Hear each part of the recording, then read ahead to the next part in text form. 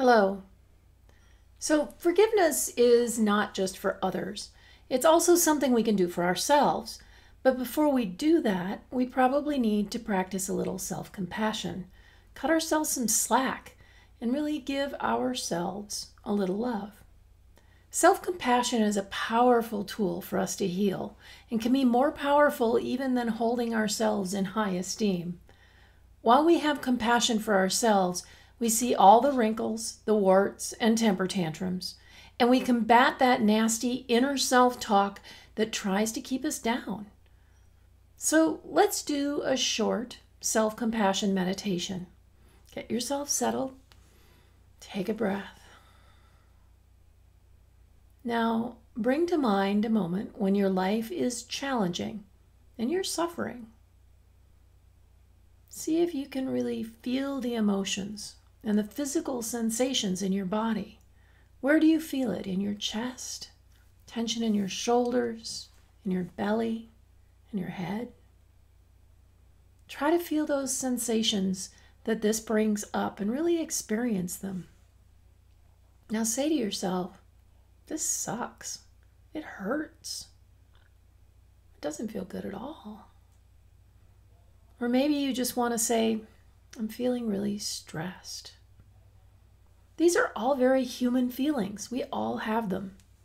Now, take a breath and put your hand over your heart. Smile gently and say to yourself kindly, May I be kind to myself? Ask yourself, What do I need to say to myself right now to show kindness? This might be a statement like, I'm a good person with an honest heart. May I learn to accept myself just as I am. May I find patience with myself. Now, maybe the next time you're feeling self judgment has got the upper hand, or maybe the next time that you're replaying something that really got to you. Take a breath. Put your hand on your heart and wish kindness and compassion for yourself. Now, here are a couple other exercises, writing exercises or journaling, that you can try. So, this first one is about treating yourself as a friend. Think of another time that a friend made a mistake, or you know they were really struggling as your best self, what would you say to your friend? Now, think about the last time you were struggling or made a mistake. What does your self talk sound like? Write it down in your journal so you can draw it out of your head. The last time you were struggling, what does your self talk sound like? Sometimes it kind of helps to think of yourself in third person, watching what's happening and taking notes.